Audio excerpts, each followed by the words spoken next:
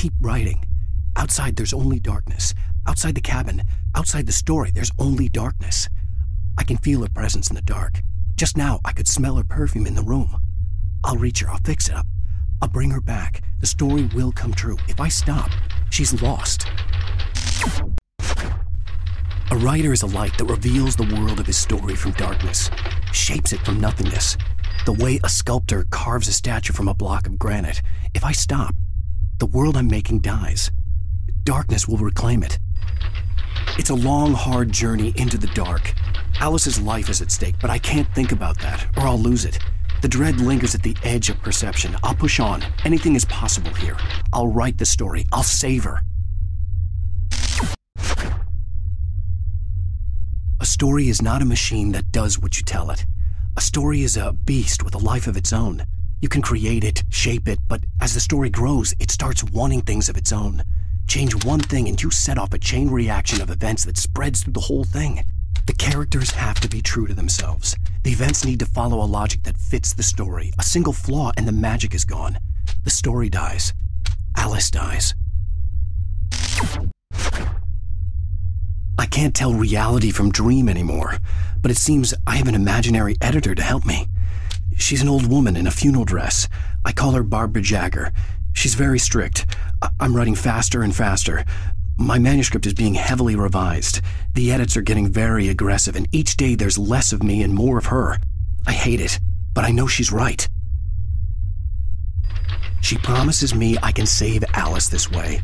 She knows more of this than I do about the complex incantation I'm attempting, about this place. She's worked with another writer under similar circumstances, Thomas Zane. The genre of the story seems to be shifting. It's turning into a horror story. I'm getting close. I can feel it. Anything outside of writing is a struggle. I feel ill. I managed to make my way downstairs. There's a shoebox filled with books and papers by Thomas Zane. It's very hard to focus, but I managed to read some of it. He's a poet, and a good one.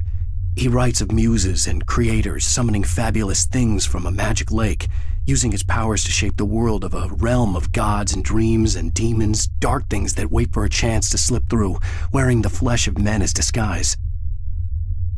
Zane writes about himself, his girlfriend being taken over by a dark presence, about growing scared of the lake, Zane believes it's a mirror to the gaping void of darkness above, where some Lovecraftian presence lurks. I crawled back upstairs. I'll borrow these things for my story. They ring true. They fit. Something's wrong. I'm not myself. It's hard to think that there's a shadow inside my head. I can only focus on writing. Everything else is a blur. I'm trapped in this cabin, have been for days, but it's Always dark outside. My editor is real. I saw her again. She's not human. It's not human. A dark presence is wearing the old woman's face. She was covered in clinging shadows. There's a hole in her chest where her heart should be. I think I've made a horrible mistake.